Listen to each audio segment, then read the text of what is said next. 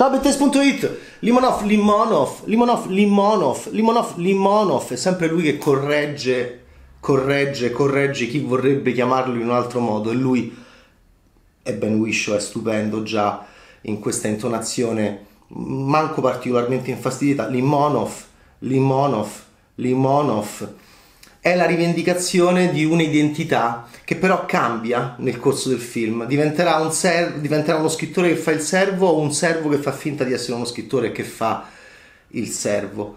Eh, l'artista è un dandy, l'artista è un provocatore ma è anche un grande ingenuo. Che cos'è il dildo? Che cos'è il dildo? Quando le donne che amiamo ci tradiscono e ci spiegano che hanno avuto esperienze piuttosto interessanti con un dildo e Limonov, no, Limonov fa che cos'è il dildo? E Ben Wishow è sempre, è sempre il più grande attore del mondo perché sa essere tutto, sa essere potenza e sa essere debolezza. E Limonov di Kirill Serebrennikov racconta proprio questo ed è un approccio anche più satirico rispetto al libro di Carrer perché fa un Limonov velleitario, un represso, fino a che non avrà un'esperienza sessuale gay sconvolgente a New York ed è la scena più bella di tutto il film, Serebrennikov è molto vicino al movimento LGBTQ e avrebbe dei grossi problemi se fosse nella sua madrepatria anche per quel motivo e...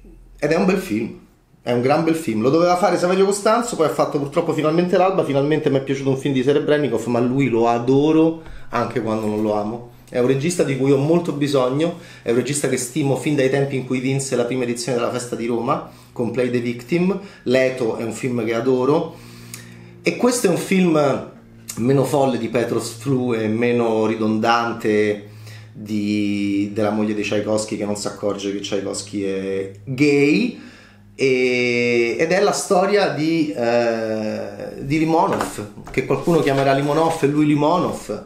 Questo Savenko che sta a Kharkiv, anche se si chiama in un modo diverso, una, una città che noi abbiamo imparato molto a conoscere da quando c'è stata una certa guerra e, e, noi vediamo la storia di questo scrittore che poi sarebbe diventato un politico. Certo, è il libro di Emmanuel Carrer che l'ha conosciuto a Parigi, ma è soprattutto il film di Kirill Serebrennikov, fatto di piani sequenza pazzeschi, fatto di costante eh, oscillazione tra potenza e, e, debolezza, la sconfitta e l'anale.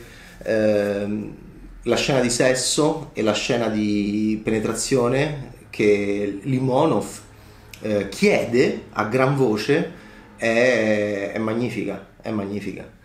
È magnifica la scena più bella di tutto il film, anche perché lì lui scavalca la bruttezza mh, newyorkese ed entra in contatto con un altro perdente, un homeless black nero, che ovviamente da buon americano punta il coltello a questo russo che va lì e gli dice io sono Eddie.